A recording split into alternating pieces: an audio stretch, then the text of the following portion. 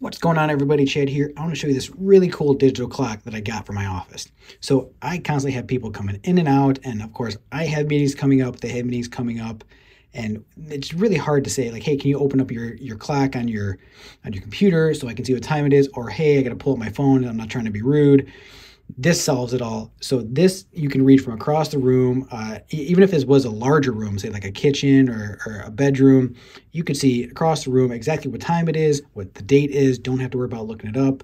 And again, as someone with a complex calendar, this has been an absolute lifesaver for both me and the people that I'm meeting with.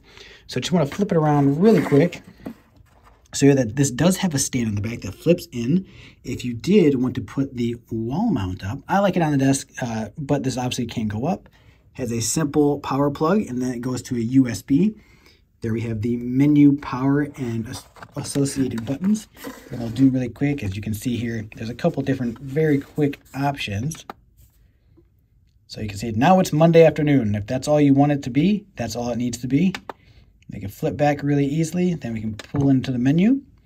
And you can see you can set your time, your date, your mode, uh, language. So very, very easy to use. As you can see, I don't even look at the buttons as I'm doing this.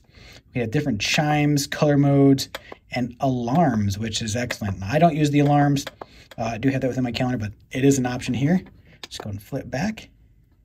And that is it. But it's a huge display, like I said, which is really, really helpful for when you're you are busy and you don't want to be flipping through your phone or your calendar, and I would highly recommend.